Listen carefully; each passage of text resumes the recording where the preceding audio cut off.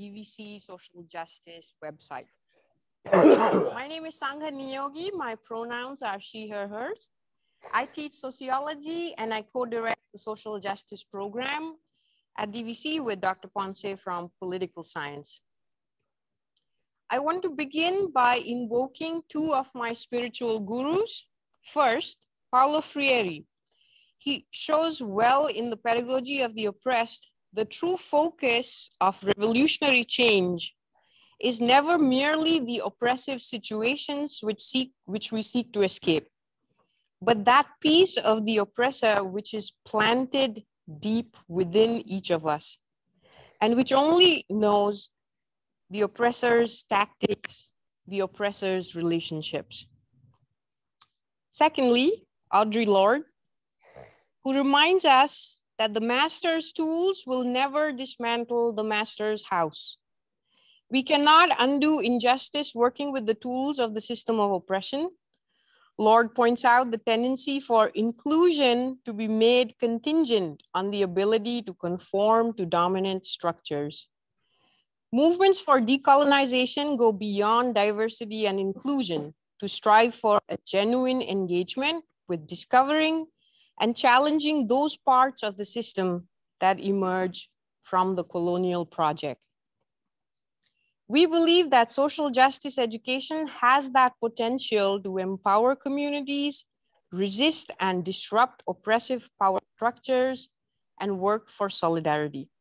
Our goal is for students to develop and deepen their understanding of who they are by supporting them in broadening their horizons, building passions, and finding their purpose.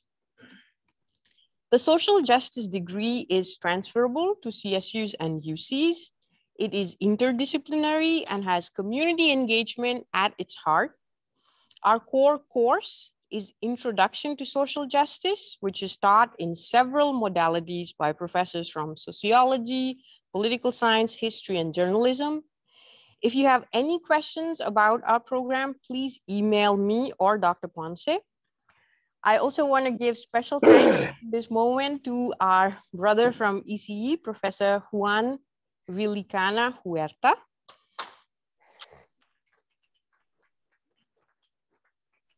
He has been helping us set up our swivel camera for all of these events and all the folks are really enjoying and saying this works well on Zoom.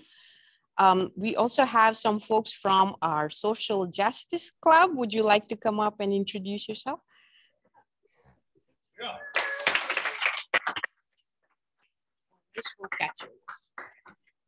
Okay, so Juan, do you also want to come up with this? Yeah, so for this is uh, Juan, our amazing advisor for the Social Justice Club. And hi, everybody. So my name is Afreen Shamim, and I am the president of the Social Justice Club. Hi, everyone. I am Nate. Uh, I am also the social media and activities coordinator of Social Justice. My name is Alan. I'm the secretary for the Social Justice Club. Juan Huerta Villicaña, the advisor for the club. So we were asked to come here and talk a little bit about the Social Justice Club here at uh, DVC. And mainly what we do right now is we're focusing on, uh, on recognizing different cultures and acknowledging cultural diversity so that we can raise awareness about these different practices um, within our community and make sure that when we're talking about things like this, we're keeping in mind different concepts like cultural relativism and make and being that making sure that we are um, respecting different cultures. And today we're actually talking about um, Indigenous Peoples Day, which is today, previously known as Columbus Day. Our meeting is actually happening right now from 3.30 to 4.30. And we have come here to let you guys know of what is happening. So if you guys wanna Okay, so for this semester, uh, basically what we're doing is we're, fo we're focusing on a cultural aspect, uh, diversity. So basically what we do is each week we take a different culture and we break it down. We talk about the diversity, the food, the religion, the practices, everything. We want people to be kind of like more informed basically about what's going on in that culture, what that culture is about, how all these cultures actually are all similar to each other.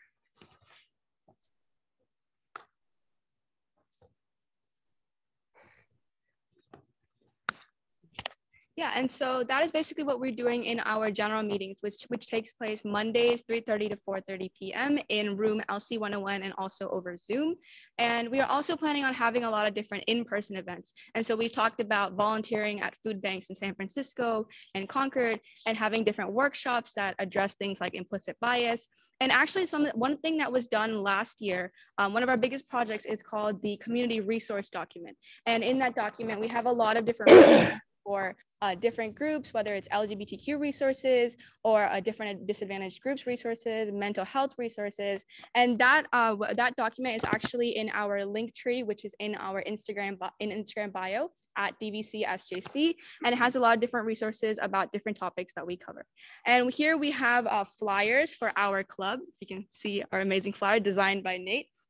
And so we can we will leave a few flyers here with our advisor, and you can find the um, the Instagram and also the Discord for anyone who would like to join the club and be a part of events and come to meetings. Yeah, and so thank you so much for having us.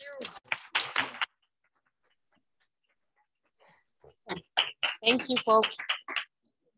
So I will now invite my comrade, Dr. Albert Ponce, to introduce our esteemed speaker for today. Right, welcome everybody, and again to our, you know, second event back on campus since 2020.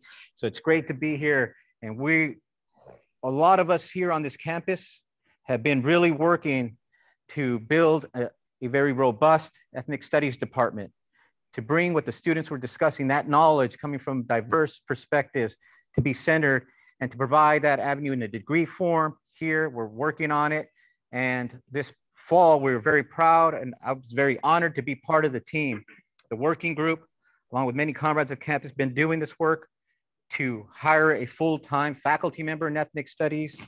So I will, you know, uh, want to get to it, but I also have a couple comments about today.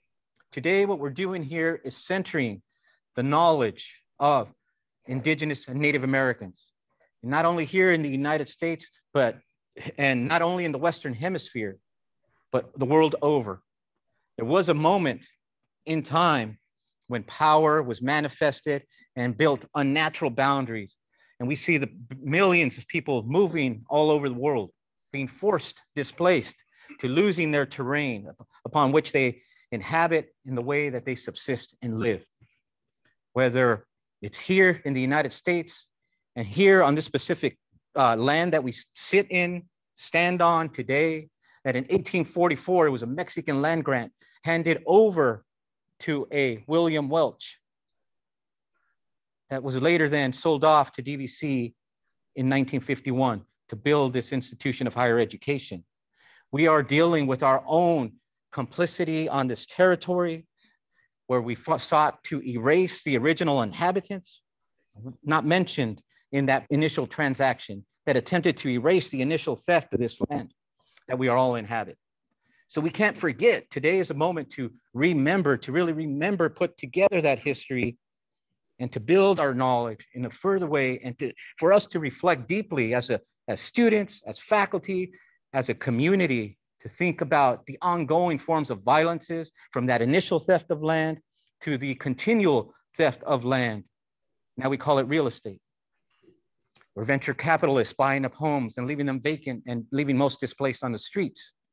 So today we're very proud, and I'm very proud, um, just to, to have as a colleague, as a comrade here at DVC, somebody who we just brought on, uh, and I will go ahead and introduce him so he can, you want to hear from him, not from me, but I want us all, I just wanted to frame our, where we're at, where we exist, and we're, we're, what we're about to embark on.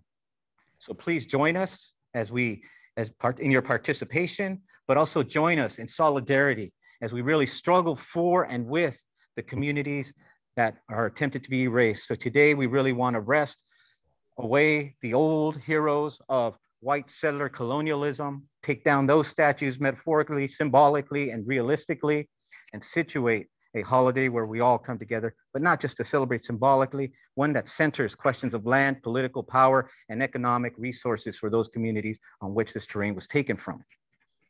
So Dr. Danny Awi Kapatzin Cornejo, who is Opata, Chicano, Picunche, Chileño, who's now, you know, I, keep saying, I keep getting the chills when I say this, our new assistant professor of ethnic studies here at Diablo Valley College.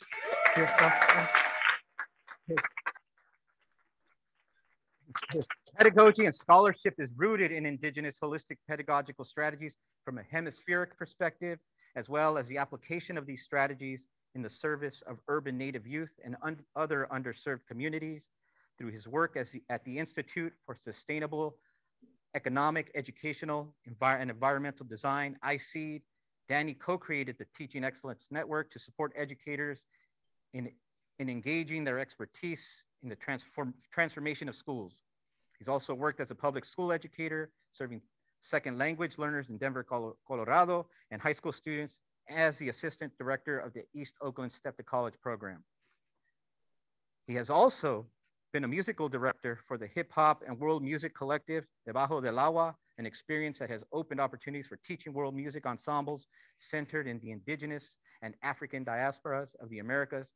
And he lives with his wife and two beautiful children in, in East Oakland, California. And he just recently, a graduate, earned his PhD from the University of California at Davis in Native American Studies. So please jo join me in welcoming Dr. Dani Cornejo.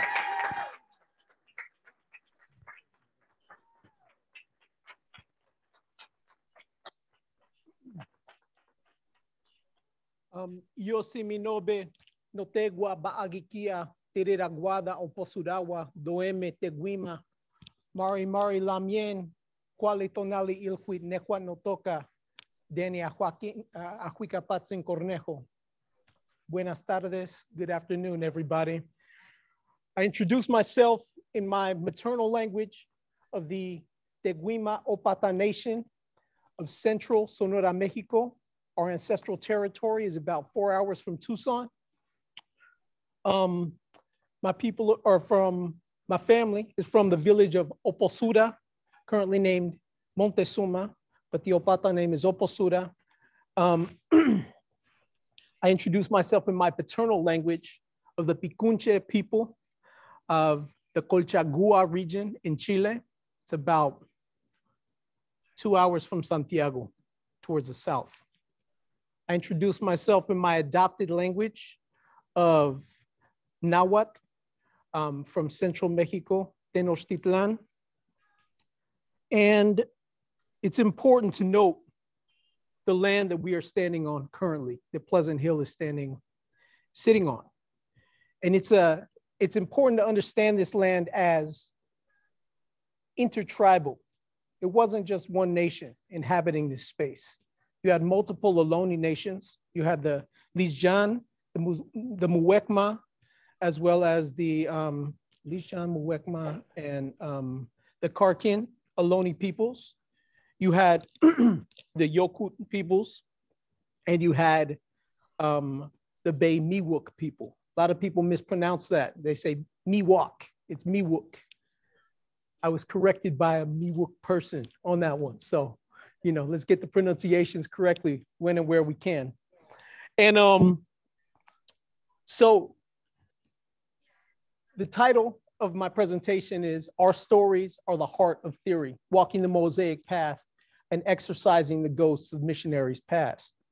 Now, um, what I mean by this is in indigenous nations, oral histories are where knowledge comes from. It's how knowledge is passed from one generation to the next. Therefore, we build theories based on our oral histories, based on our stories. Okay. I want you all to reframe just for a moment for, for, for the context of this conversation, I want you to reframe how you view the world. I want you to think about it from an indigenized perspective. And one way to do that is to just take a look at this map right here. This map was created by one of my professors at UC Davis. Her name is Hulleah Tsinhnahjinnie of the Dene and Muskogee Nation. And it was based on the work of Dr. Jack Forbes, who studied indigenous epistemologies throughout the hemisphere. He's now passed on, he's now an ancestor but he founded the Department of Native American Studies at UC Davis. Now, I want you to notice how this map is oriented. I know there's some things blocking it, but look at how it's oriented. what you will notice is it's actually oriented east up, as opposed to north up, which is what you see in mo most maps, or south up, which you see in some leftist maps. We're going to put south up, right? But east up is an indigenized way of seeing the world. Why? Because indigenous ways of knowing are rooted in natural law. And so, east is where the sun rises, east is the top of the world, Therefore, you need to reframe how you see the world if you're going to view it through indigenous eyes. Um, but I want you to think about maps as, as a form of inscribing power, okay? Europe would center itself. That's where Eurocentric map making, making came from. Maps made in China would center China. Um, the map that we see today with north up and south down, by default, places a hierarchy in the world. It places the global north on top and the global south on bottom. When you see the map this way, it disrupts that hierarchy immediately. All of a sudden, the Americas, it's not North America and South America, it's, it's equal land across the way. And you can see that no longer is the earth divided by oceans when you see it this way, but instead it's united by landmass. You have up here Canada connects to Siberia on the other side. Down here, Tierra del Fuego. There's a little divide between Tierra del Fuego and Antarctica, a little divide between Antarctica and Australia on the other side. But generally speaking, the world is connected. And that interconnectedness, that interdependency, that relation is central to indigenous worldviews throughout the hemisphere. And so it's important to keep that in mind. Now, this talk is rooted in indigenized worldviews. And I'm going to point out two before we really jump in. First one is right up here, created by Stolo scholar Jo-ann uh, Archibald. Stolo is Indigenous First Nations from, from Canada. And she created a, or I mean, what she's illustrating here is indigenized holistic pedagogies, indigenized ways of learning that goes beyond Western conceptions of strictly head learning. How many of you all just sat in a class and were subjected to Freire's banking system of you are empty and we're going to deposit knowledge in you, okay? There's nothing indigenized about that way of learning, okay? What you can see by, by, um, by the model here is that intellectual head knowledge is a part of our whole knowledge system. Yes, it's important, but so is the emotional knowledge. My people call that heart knowledge. Here in the West, we're just starting to catch up with that. We call it innate emotional literacy. Sorry, I didn't mean to use that voice. That's what we call it here. I call it heart knowledge. But then beyond that, we got the physical knowledge system. Okay? Our bodies are archives. We have embodied knowledge systems. When we suffer an injury, our bodies remember that. Okay? In the West, we call it muscle memory. The athletes, are there any athletes in the room right now or dancers in the room? Athletes and dancers understand that there's a moment when your body is moving and your head isn't even thinking about it. Your body is moving on its own. That's that muscle memory. That's that um, body is archived. And then we have the spiritual knowledge, whatever your spiritual tradition is. Okay? The knowledge that you get through ceremony, the knowledge that you get through connecting with the sacred. Okay? So that's one framework. Literally, let's remember there's a thousand different nations in the Americas, all with different frameworks, different epistemologies, different languages, different cultural contexts. So I'm going to point out two right now. This one is the one I'm most rooted in. It's the one uh, rooted in the Mexicayo tradition of central Mexico. And here, it's kind of blocked right here, but within this knowledge system, you have the East, which is related to men's knowledge and two-spirit male knowledge. You have the West, which is connected to women's knowledge and two-spirit women's knowledge. You have the South, which is connected to children's knowledge of all genders. You have the North connected to ancestral knowledge and elder knowledge. And all of those knowledge systems are in sync with the center, which is the duality between sky and earth. The duality between sky and earth, which allows us to exist on this planet. The sun hitting the earth, feeding us, okay? Within this framework, there's room for individual and there is room for community in relation to earth. But literally, you could study these frameworks an entire lifetime and just scratch the surface. My point is to just illustrate that this particular presentation is rooted in this tradition. Now, is my clicker working? Maybe it works here. Uh-oh. Clicker's not working. I promise everyone it was working during the, the check. Okay.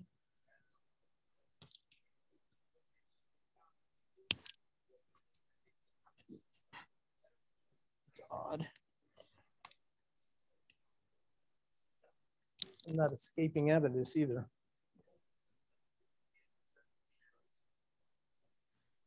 Just pull it out and try it one more time. I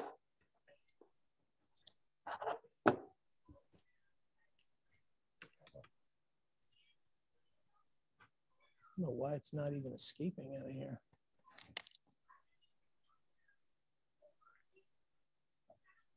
Hmm? Stop the share. Okay.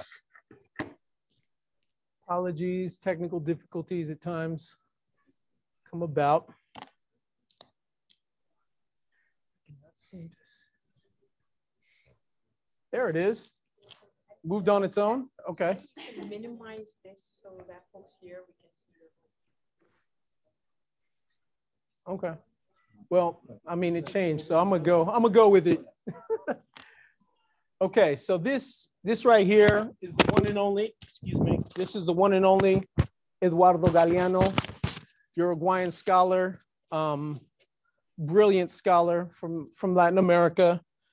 Um, and in his book, Memory of Fire that he wrote in 1982, which is a history of the Americas written in a be beautiful prose. He writes, I'm not asking you to describe the rain falling the night the archangel arrived. I'm demanding that you get me wet. Make up your mind, Mr. Writer, and for once in your life, be the flower that smells rather than the chronicler of the aroma. There's not much pleasure in writing what you live, the challenge is to live what you write. Now, what, what I take from this quote is as scholars, we need to stop writing from solely this place. Okay? Writing from this place is dry, it's boring. People don't connect. The strongest writers that you have con connected with, I promise you, were writing from the heart and the mind and coming at you that way. Like Galeano did. Anyone who's ever read Galeano understands that he wrote this way. Um, my father gave me the open veins of Latin America when I was a senior in high school. And not only, I, I, later realized that that was his dissertation. I don't know if you all knew that. That was a PhD dissertation that he turned into the open veins of Latin America. Nevertheless, that was the first book I ever read where I actually truly connected with the content.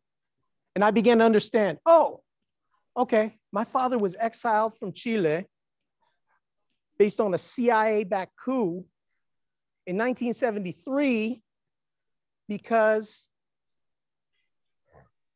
because the US was anti socialist, anti Allende at that point. And he, he broke that down for me. He helped me understand oh, okay, there are wars going on in Nicaragua. This was the 80s, right? The Contra Sandinista War. There are wars going on there because of CIA intervention in Nicaragua, in Guatemala, in, um, in El Salvador. For the first time ever, I was able to see myself in the literature and connect with it in a heart-based way. Okay, so if this presentation brings some stuff up for you, that's okay, because that's how I wrote it. I wrote it to connect to a heart place. Yes, it's working now. okay, so I'm gonna, I'm gonna present in story form. In the first story, I'm gonna share two stories. The first story is called The Broken Clay Pot, Gathering the Fragments and Building a Mosaic Path. Okay, so what you see here is a map of the missions in my people's territory, the Teguima Opata territory. These are all of the missions. So our territory is all of this kind of river valley area, and these are all the missions that were built there. Okay, now myself and a lot of Chicano people, a lot of people in general, are displaced from their traditions. But you have to ask why. Why are you displaced from your indigenous traditions?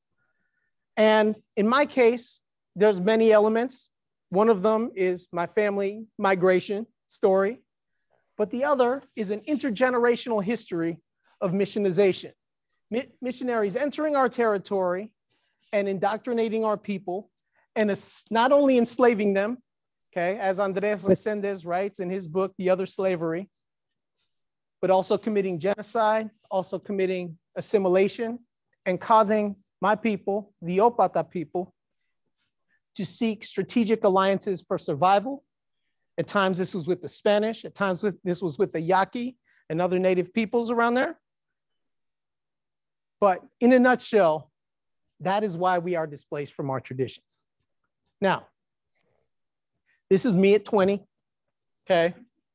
Um, and, and I'm wearing the ceremonial garb for the Mexicayot tradition. Now, for those that don't know what that means, it's the Aztec dance tradition. Now, for those that don't know what that means, because you might have seen Aztec dancers on Cinco de Mayo or something like that, it's actually a tradition that's way deeper than that, right? Um, long legacy, hundreds of years old okay? Um, dance is part of the tradition. The Temescali or sweat lodge is part of the tradition. Curanderismo is part of the tradition. And, you know, other, other, other aspects are part of the tradition as well. So what the Mexicayot tradition has become in the present is a pan-indigenous space for those who have been displaced from their tradition can come and learn. Learn indigenized protocols and learn and hopefully eventually connect with their people, which was what my case was. Um, and um, it's actually not dissimilar to what you see in the Native American community, which is the powwow tradition. Some of y'all have probably been to powwow before. What people don't know is pow that powwow tradition actually comes, uh, it's about 100 years old, and it's an intertribal tradition. So danza has become in the present a pan-indigenous tradition for people of Chicano descent, for people of pueblos originarios and others, right, to reconnect. So this is me as a rookie danzante wearing my humble whites, right? And um, early on, uh, we have a rite of passage in the Mexica community.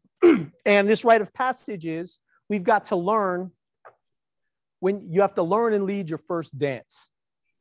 And so when we learn and lead our first dance, we get something called ayoyotes, ayoyotlis in the Nahuatl language, but they're shakers that you wear on your feet so that people can hear you when you dance, right? And so I, before I earned my ayoyotes, I was invited to a ceremony on the third mesa, third mesa right here. So this is in the Four Corners region between Colorado, Utah, New Mexico, Arizona. This is the Dene Res. And for those that don't know, the Hopi Reservation is inside of the Navajo Dene Reservation. Okay, so one weekend right before the school year started, I was a fifth grade teacher at the time. We left on a Friday. We drove 14 hours, my wife and I, to go do ceremony at the third Mesa. We arrived we were greeted by Hopi elders. We were shown around. They asked us to wear whites to demonstrate humility. Then we went into the ceremony. And one thing that people don't understand about um, danza or ceremonial dance is it's not just dance. It's not, you don't do it for the visual. That's why pictures should never be taken. Okay. It's actually a prayer in motion where you're giving of your sweat where you're giving of your tears, where you're giving of the blisters on your feet to bring into your life that good stuff that you want in your life. Okay? And so we're dancing under the sun. Day one. Okay, they fed us these amazing purple corn tamales. And I make another connection. I'm like, oh, wait, they got tamales in Mexico. Why, why are they making tamales up here in the in the in the Navajo res? Oh, okay. It's because it's corn, right? But nevertheless, made that little connection. And then I was worried because then Sunday's coming around and I had to teach on Monday. And so I'm like, I'm, we got to go. We got a 14 hour drive. My wife's like, nope, we got to stay till the ceremony's over. That's the protocol. And I don't know about y'all, but um, happy wifey, happy lifey. Anytime I've gone against my wife, I've regretted it. So I don't. and I didn't back then. And so uh, she's watching, I hope. so, anyways, um, so we stayed. We stayed. We stayed there and um, we went through the ceremony the second day. And then at the end of the ceremony, we circled up to share palabra, passing palabra. What that means is you share the ceremonial insights that you received while you're dancing. You're dancing, you're praying, stuff comes to you. And then you can share. And, and we build knowledge in that way, right? Through oral traditions. And so we're sharing palabra and a veteran danzante who came up from DF, which is Distrito Federal, Mexico City. He came up for this ceremony. His name is Sidi Martinez. He broke down something that has forever stayed with me. And he shared with me what I call the broken clay pot metaphor. He said that when Cortez arrived in Tenochtitlan, prior to Cortez arriving, our knowledge systems were whole and complete, which means we had agricultural systems, we had systems of literature, we had martial arts, we had philosophy, we had schools, and on and on and on. And he said that this was akin to a whole and complete clay pot. And he said the process of colonization after Cortez arrived essentially took that clay pot and shattered it into a thousand pieces. And that that is the legacy we're currently living in. Now, when, when he said that, I thought it was a beautiful metaphor on the one hand, and it's utterly devastating. And it's devastating because when you internalize that, you start to believe, oh, well, I'm broken. My traditions are broken. Right? And so Nevertheless, I began to under, well, so I carried that teaching for a long time. Very soon thereafter, I encountered this amazing author that I recommend to everybody. Her name is Deborah Miranda of the Costanoan Ohlone Nation. And she has this amazing book that those who are here can't see, but it's called Bad Indians, right here.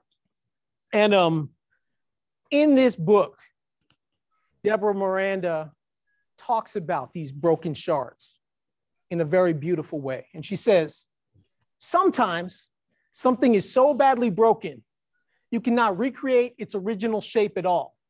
If you try, you create a deformed, imperfect image of what you've lost. You will always compare what your creation looks like with what it used to look like. As long as you are attempting to recreate, you are doomed to fail. I'm beginning to realize that when something is that broken, more useful and beautiful results can come from using the pieces to construct a mosaic. You use the same pieces, but you create a new design from it. Matter cannot be created or destroyed, only transformed. If we allow the pieces of our culture to lie scattered in the dust of history, trampled on by racism and grief, then yes, we are irreparably damaged. But if we pick up the pieces and use them in new ways that honor their integrity, their colors, textures, stories, then we do those pieces justice, no matter how sharp they are, no matter how much handling them slices our fingers and makes us bleed. And I, re I realized that I was surrounded by mosaic fragments. I learned songs here. I learned dances here. I had I had recipes from my grandmother here. I had words and terms here. I didn't know how to put them together in a mosaic yet, but I had the fragments. And so Deborah Miranda helped me move away from this notion of being broken to no, how do we honor the integrity of each one of these pieces that we carry? And how do we repurpose those fragments for our use in the present? And so that's going to bring us into story number two exploring the haunted archive and exorcising the ghosts of missionaries past. Now, I would be remiss I did not mention the reality that here at DVC, there are Native American bones being stored at this very moment. And most universities around the country, but particularly in California, have bones in their archaeology departments that were collected during the 50s for whatever reason. And so, just for a second, I want y'all to pause and think about this, okay? What kind of mentality digs up grave sites to study? Just put yourself in this position real quick. If that was your grandmother, if that was your ancestor, just put yourself in your position, okay? The Emeryville Mall, and I'm gonna go off on a small tangent here. The Emeryville Mall was built on an Ohlone shell mound. They dug up bones and put them in Berkeley. They dug up a cemetery, and then their mentality was to honor this place, we're going to call this street Shell Mound Drive and Ohlone Way. That's a colonial mentality.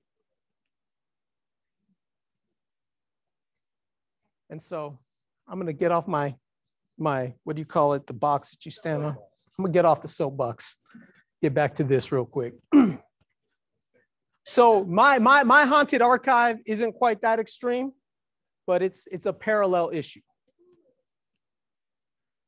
so okay my haunted archive centers around an individual named father natal lombardo who in the 1600s created this grammar right here which is called el arte de la lengua teguima vulgarmente llamada opata. The art of the Teguima language, vulgarly called opata. And this document, well, this document was created to teach priests and fathers our people's language for the express purpose of missionizing, assimilating, enslaving our people. But what's weird about it, what's interesting, is, is that the, the title holds a certain reverence.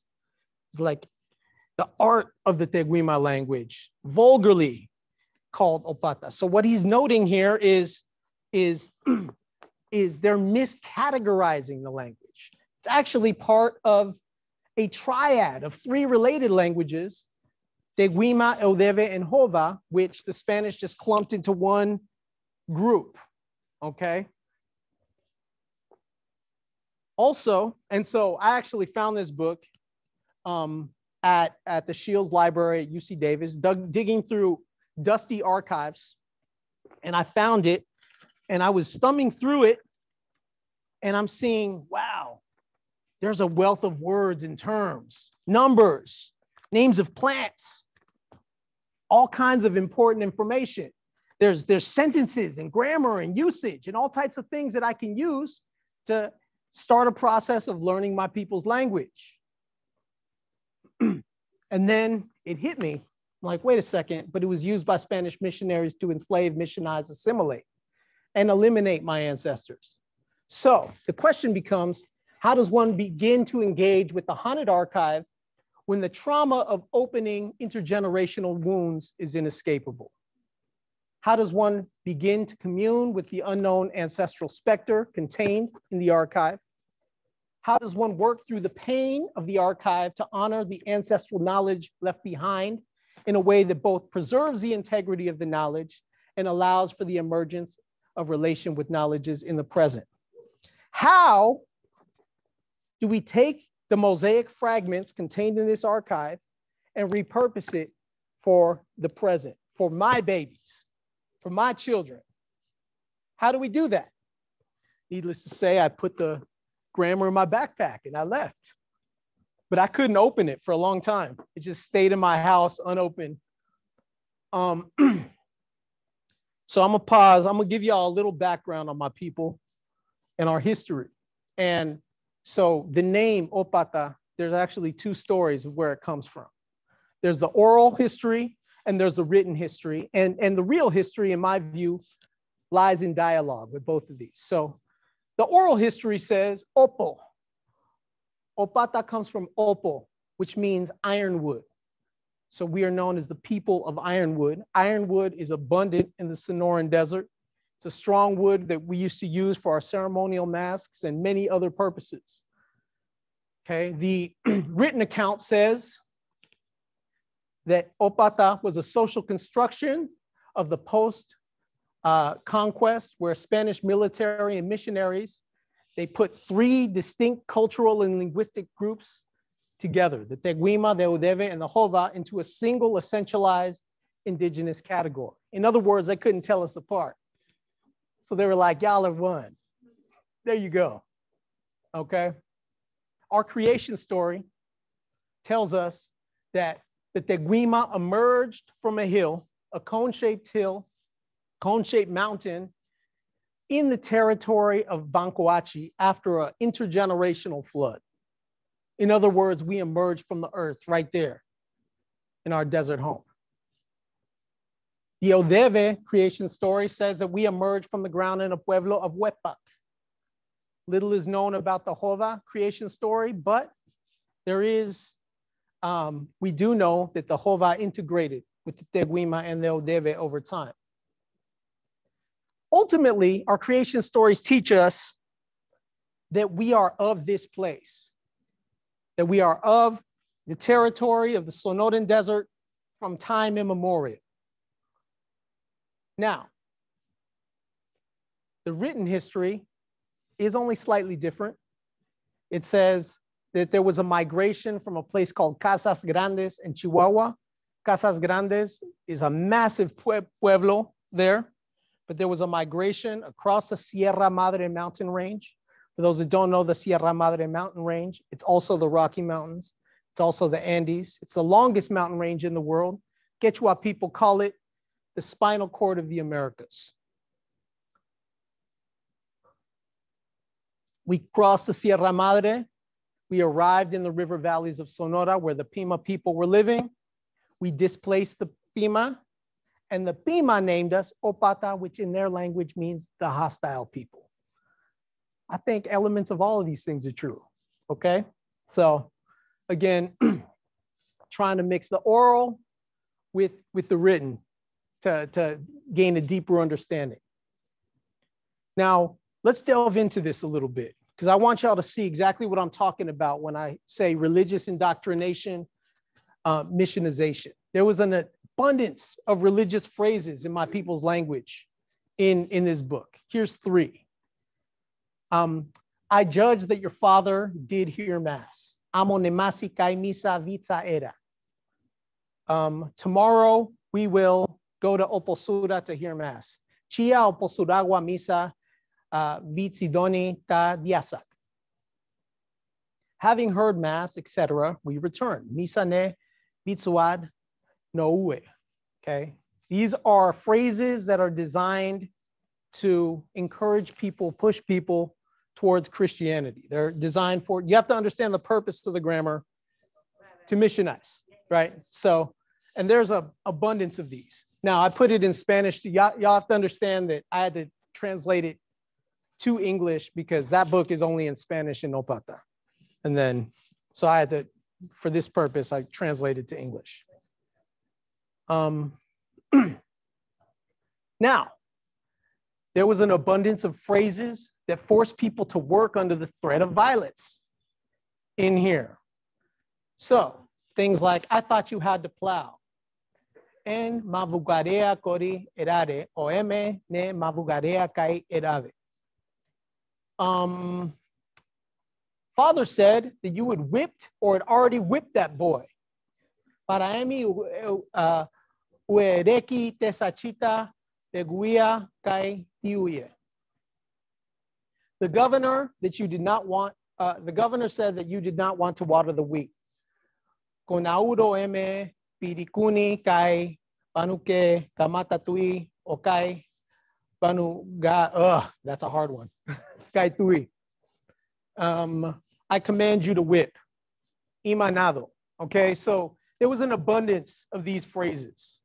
Okay, again, so you see the religious indoctrination and then the threat of violence that is present even in just the grammar. This isn't, this is a document, this is an archive, this isn't, you know, actual, you know, testimony or anything. so the question becomes, how do I exercise Father Lombardo from this text? How do I take the language, the usage, and repurpose it, repurpose those mosaical pieces for my babies? Teach them something. How do I do that? And I had to start with my people's concept of creator, or better yet, creation. So actually, in this book, there is a translation of the Our Father prayer. Y'all know that one, right? A lot of a lot of y'all heard that one. I actually don't know it. I never learned. I just know Our Father who art in heaven, and then I don't know the rest. But y'all know what I'm talking about. okay. So they have that prayer in this book. And we understand that when they say our Father, they're talking about an omnipotent, all seeing, all knowing, monotheistic white male God. That's who they're talking about, our Father. and that we have to pray to that God in order to access the sacred. Okay? so, how do you disrupt that mentality? Well, I start with my people's conception, not of creator, because we don't have creator. We do have creation, though. And our term is chamahua. Chamahua. Go ahead, try to say that. Chamahua. The animating energy of creation, a place where creativity, ingenuity, and imagination bringing forth new and or renewed creation. I can get behind that. You know? and so um, it disrupts not only kind of this white male God but it also, a lot of people, when they talk about native, native communities, they talk about, and the Aztecs worship the god of the sun. Okay, y'all have heard that one, right? Okay, that notion of pantheon is a Western construction. Let me disrupt that for you real quick. Okay? Aztec did not believe in gods and goddesses. Okay? It wasn't the god of the sun, it was the sun the sun that you can walk outside and you feel the light on your skin, the sun that you can observe hitting that plant and then you're eating that plant. It's that sacred relationship. It's no intermediary of a God. Oh, I got to pray to the God of the sun. So that, no, the sun. Go outside and feel that. It's the fresh water in the river, not the goddess of the fresh water, the water. Very, very concrete. Okay, that's indigenous science. Very applicable, very concrete. Okay, so you have to disrupt the notion of pantheon. You have to disrupt the notion of monotheistic God, and even disrupt the notion of creator as it's often used in, in native communities. You know, I pray to creator. Even that is kind of a, a reinvigoration of the God notion. No, it's creation. It's the animating energy. And my people weren't the only people to, to believe this. Okay? The Mexica people have the concept of tlanequia, the animating energy that divides cells, that moves, that moves plants towards the sun, the animating energy that is so intrinsic we forget it's even there. Okay? And it's not just in the Americas. The Yoruba people in Africa have the concept called Ashe, the life force. Okay? In China, they have the notion of Qi, in East Asia, they have the notion of chi, the life force. Okay, and it's present in many other places. so, anyways, our Father prayer, I saw that and I said, wow, this has some really beautiful language. I need to get the father out. How can I do that? How can I do that in a good way? So I replaced the father with chamahua. And then I said, okay, I got the words, but how do I bring this song? How do I bring this to life in a way that my community can hear it, that my children can learn it, that I can internalize it in an embodied way?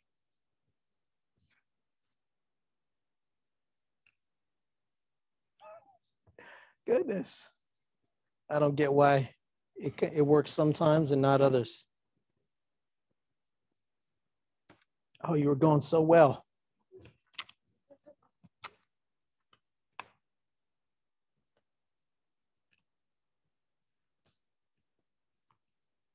You know what? I'm gonna take it old school. No, don't even worry about that. I'm gonna take it old school. Okay, just do it like that because technical difficulties happen inevitably and we gotta roll with it. So how did I, so I had the words, but I needed to turn it into something. And so I called up my uncle, David Atekpaksinyang, and I requested a ceremony called the Teo Netzawalitzli. Teo means sacred, Netzawalitzli means to sit and fast. Teo is the sacred ceremony of sitting and fasting. In the West, we call it a vision quest. Okay. I, I don't use that term. term is whack. Okay. Every native nation has their own word for that, right? Not vision quest. Although nowadays some people use it. I, I'm not with it though. Okay. Anyways, the parameters of this ceremony is you have to prepare for a year, at least, in the way I've been taught, I should say.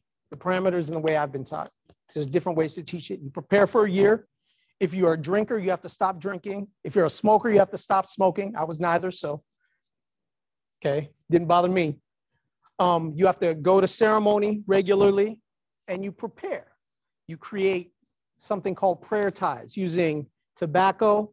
You create hundreds of them, and and and you infuse your intention into them. Okay, what is it that you want to bring into your life? Okay, it's a it's a meditation in motion. It's, it's um, and then once you've done all that, and this is all in a nutshell, um, you go into a sweat lodge and they put you up on a hill for up to four days. Four days, no food, no water. Okay, now pause for a second. Who in here has gone one day with no food or no water? Okay, a couple. So y'all y'all know what that's like. One day. That's an intense scenario, right? Um, but then on top of that, you're in nature and you're disconnected from these screens, all these screens we got here. Okay, so that's another kind of level of intensity that we're not accustomed to. Okay, we're supposed to do this ceremony four times in our life. I'm going to tell y'all a little part of the second time I went up because we're not supposed to share too much about it. But a little part of the second time I went up. So I go through the preparations, I go up on the hill, and I take the words with me. I take the song. I, I knew it was a song, but I didn't have the melody. I took the words. First thing I did when I was in my sacred space is I broke the words out and I prayed for that melody. And it came. It came like bah, immediately. And I sang that song into existence. And I sang that song for my children every evening so that they know where they come from. And I sang that song at Standing Rock for the water protectors.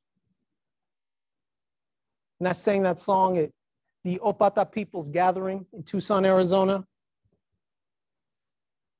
And I sang that song for my Chicana Opata grandmother on her deathbed. She had never heard our language. And I felt honored to have the opportunity to share that little piece of our language with her at that time. and so, in honor of Indigenous Peoples Day, I'm gonna share that song with y'all now, and we'll call it a day on this presentation because. Okay, so A lot of y'all don't know the protocol around songs, so I'm gonna I'm gonna learn you. Stand up when songs are sang. That's it. That's it. Just stand up.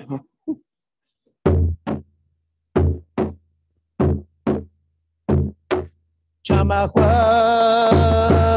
chamahua, chamahua.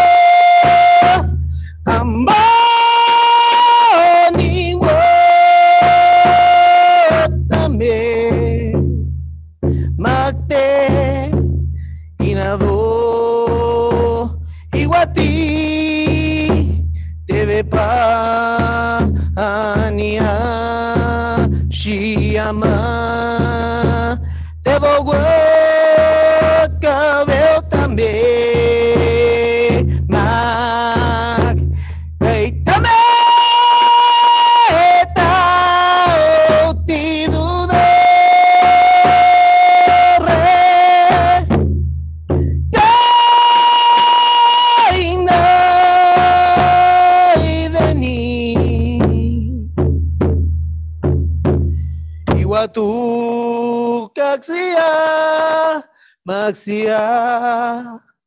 Thank you all.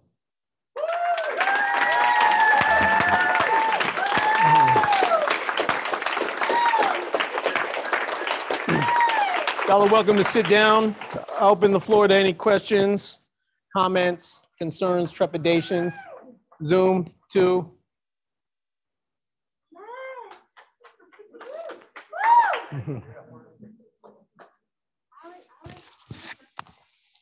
Okay. So we, that was great, great presentation, another round. Amazing. So with the technology, we're- we'll go around Q and A. You have a question, I'm gonna have to come to you. And then we'll also be taking questions on our chat. And it's great, we have like hundred and thirty people in this space right now. It's amazing, right? Online and here, so it's awesome. Hi, everyone. Hello, everyone.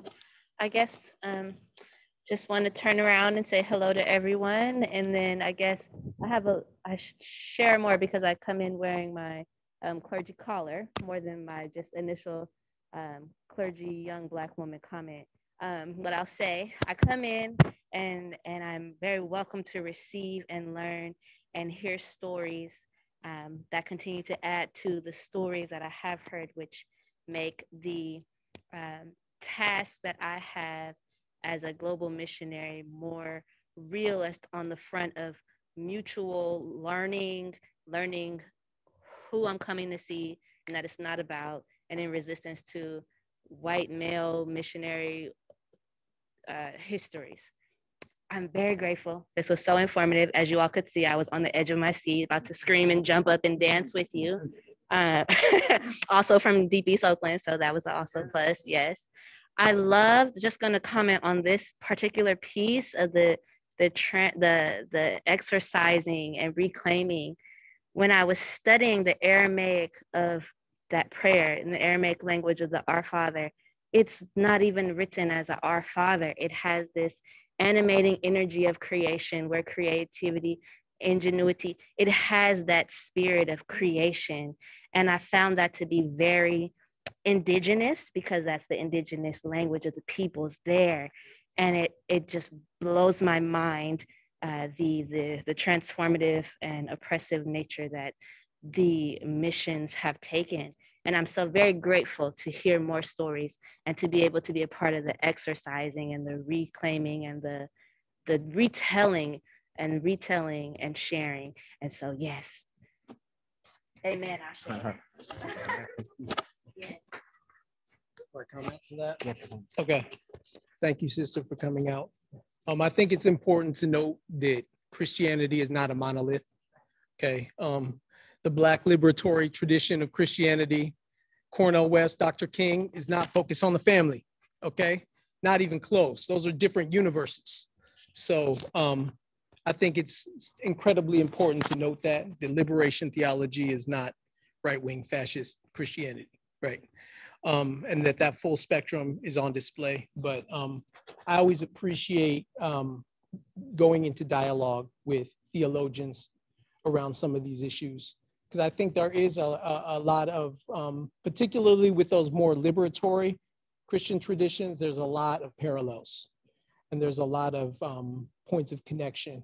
And, you know, I said from the start, you know, Native traditions are about building relations, not, not destroying them necessarily. So I always appreciate that perspective. Thank you. Yeah.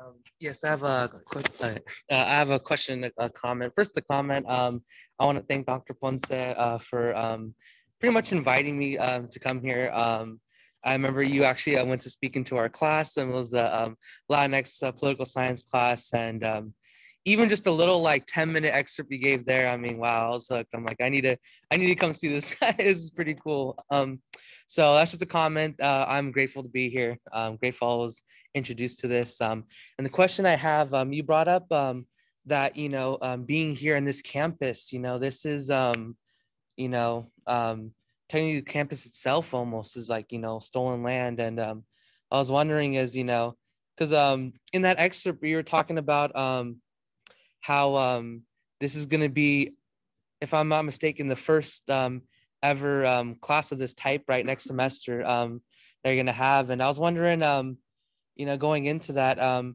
how does it feel to, you know, um, be here and be able to, I guess, you know, um, tell everyone the story about, you know, the, this land and, um, you know, what I guess um, going forward, how can we, um, you know, appreciate what we have while learning the terrible history of it, I guess.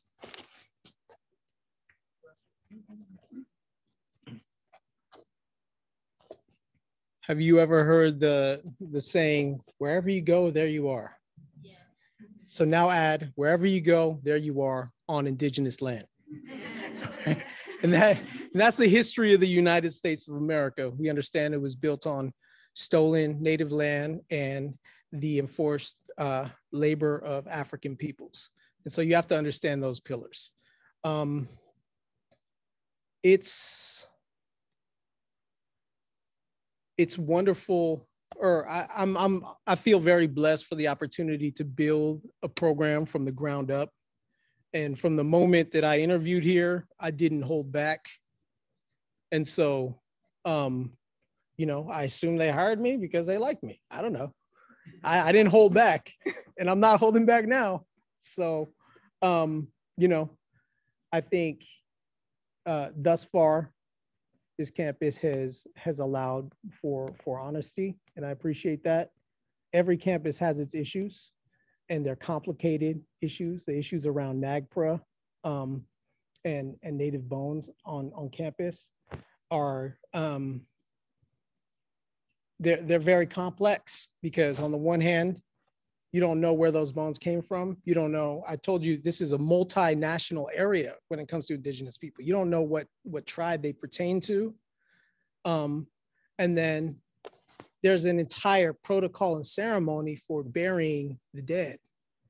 And so it's like, um, and, and a lot of people, due to what I'm talking about here, don't have that knowledge or, or they don't know. You know, I wouldn't know what what to do in in, in that circumstance and so um, there are there are real challenges um, i think the first step is recognition recognizing whose land you're on recognizing what their story and history is you know recognizing that a lot of the landmarks that we have here in california are named after colonizers you know whether you're talking about fremont chabot you know, the various ranchos that you have, the Peraltas, you know, um, and and taking the time to go beyond that. Okay, who were the first peoples here that were displaced? Um, I believe that knowledge is power. I know that's a corny cliche. Michel Foucault said, knowledge is for cutting. And I actually, I like that one a little bit more, right? Um, the more you know, you know, you could slice up whack arguments you know, when they come up. I hope that answers your question.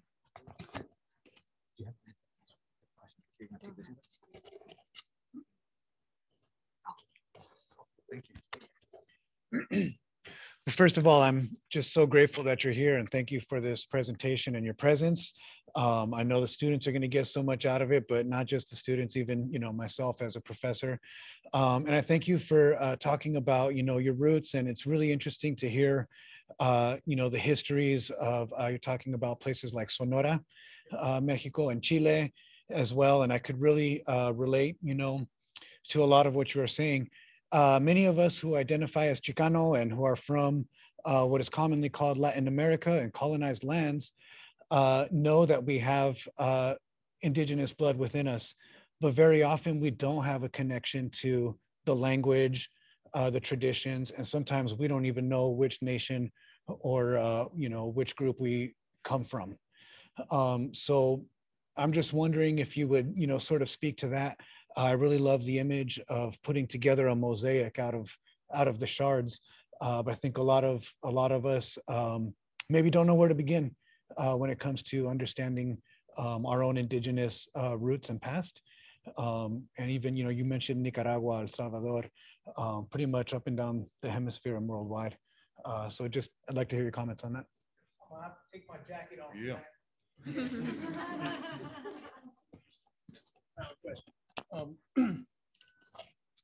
so what I attempted to map out today is precisely that process that so many Chicanos have gone through in being displaced from their traditions. We have to understand first and foremost that this is something that was done to us. Missionization took us away from our traditions.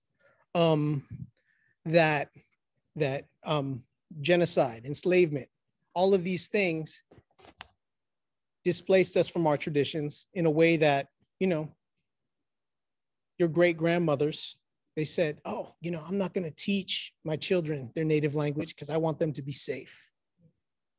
You know, I'm not going to teach them this ceremony because I want them to be safe.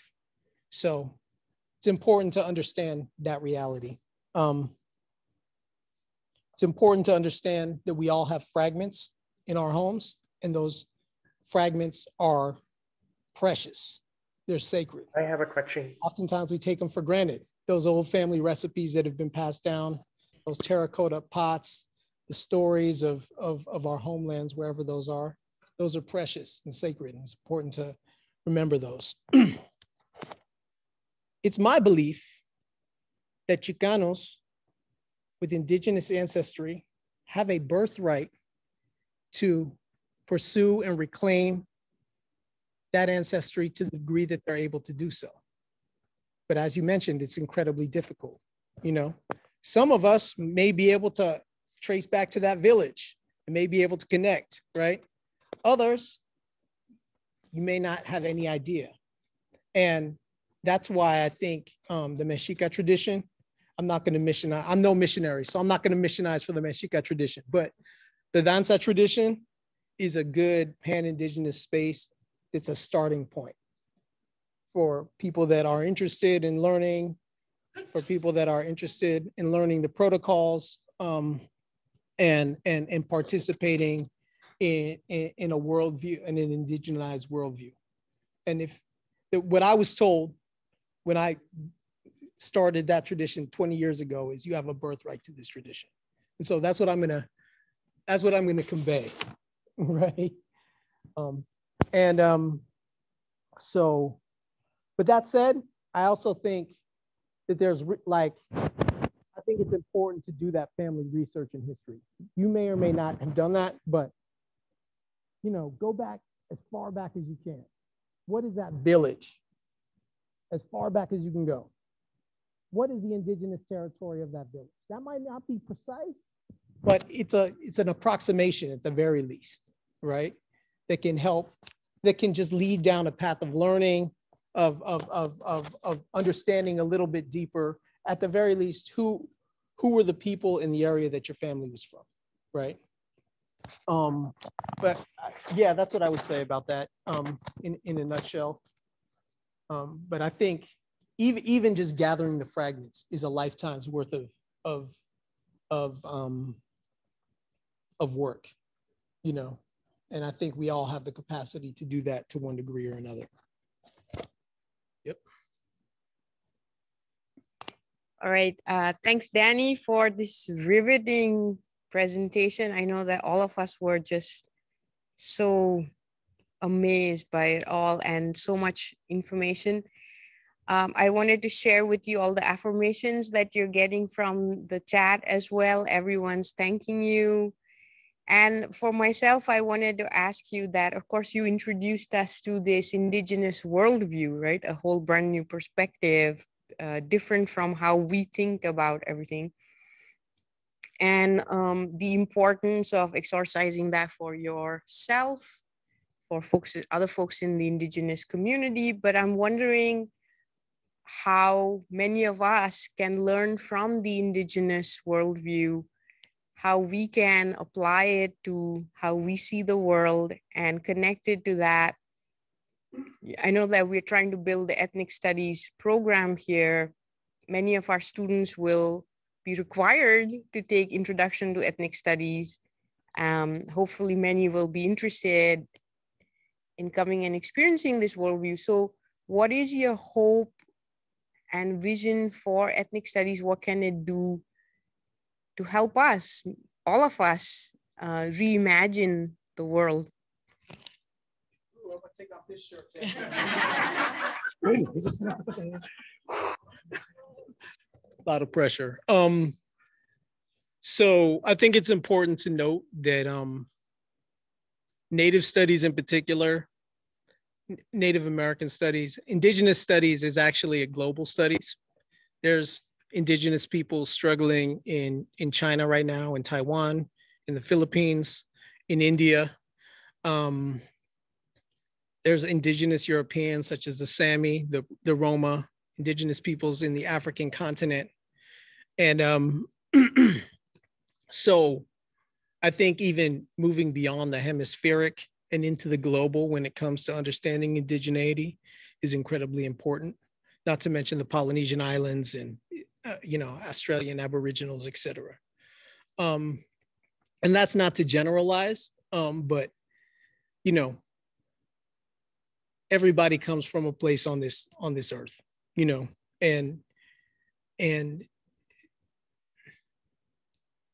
with the climate crisis how it is that's something that we can all get behind pretty quickly, right? Understanding the existential crisis that is the climate crisis. And it's my view that indigenous knowledge systems can, can really help in that regard. You know, these wildfires that we're seeing in, in, in California, Native Californians have been dealing with those since time immemorial um, in meaningful ways.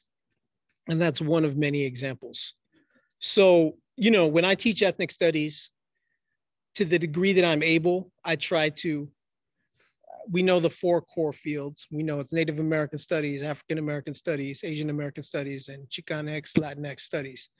But to the degree possible, I try to connect each one of those groups to indigenous roots first. Because if we're talking about decolonization, um, you, have to have kind of that premise to a certain degree. Um, my hope is to, so we, we filed the paperwork to get a Native American and Indigenous Studies course here at DVC. So that's in the works. We have an African American Studies uh, class that's even further along. Um, and then the goal is to get, you know, the first four disciplines and then, you know, build it out from there. You know, how can we collaborate uh, you know, I have folks in the music department who are saying, you know, how can we bring some of this embodied music knowledge into into conversation with that ethnic studies? And I'm all about that that that conversation. You know, I think that's an important conversation to have.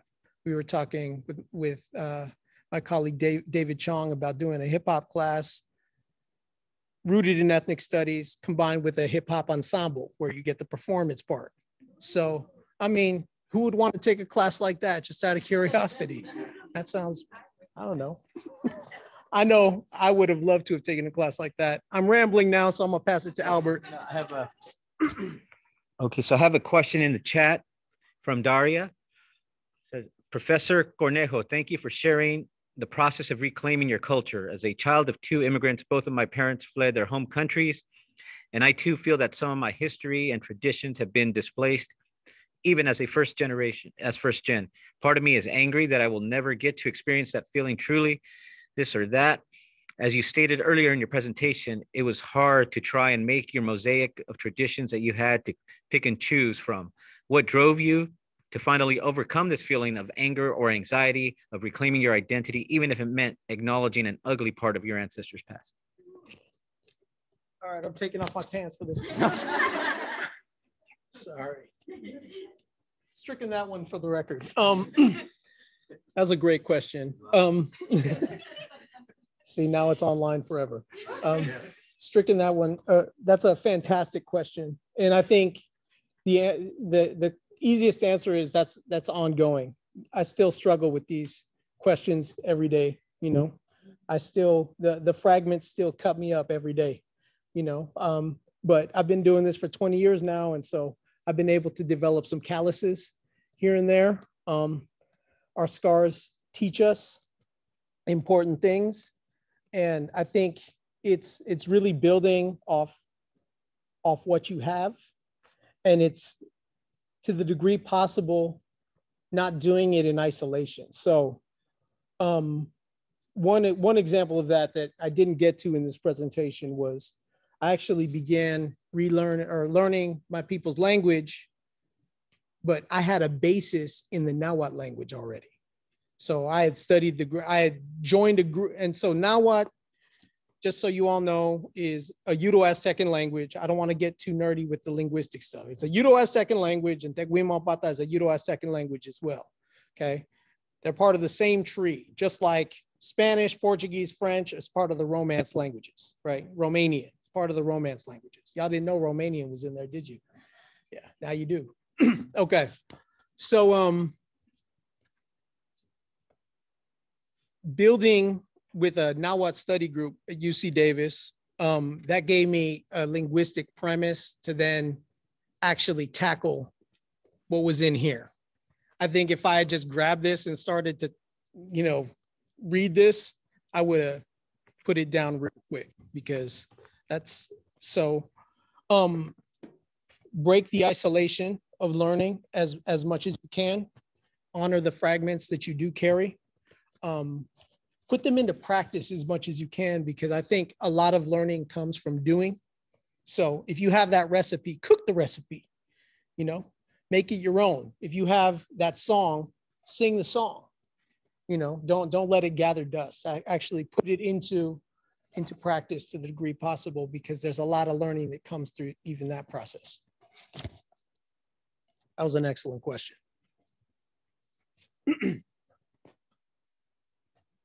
All right, folks, we have, we're about to wrap up, but we have, anybody have a burning question? Do we have anything on chat? I do. So on chat, Annie has a, a clarifying question and they say, how is theory developed from our stories?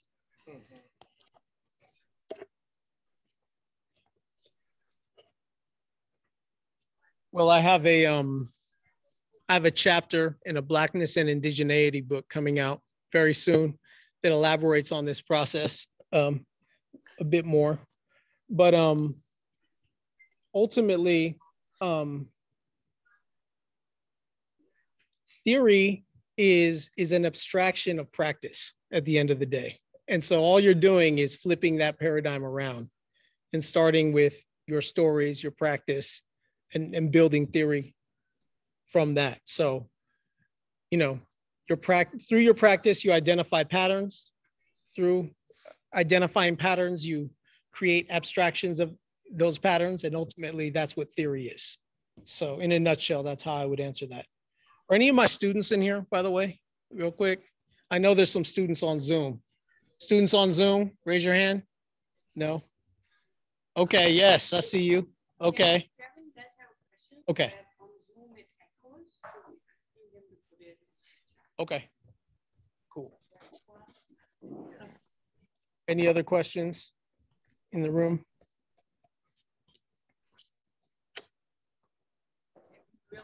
Go ahead, Kevin. Ask your question, Kevin. Uh, uh, Native American Studies.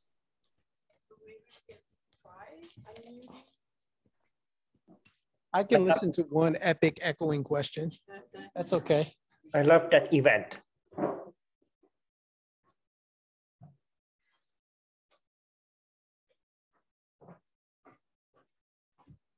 I love that event.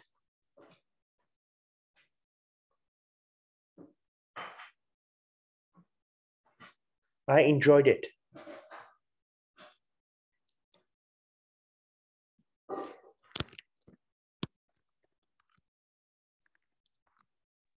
Kevin, can you try again? Ask him to type it in.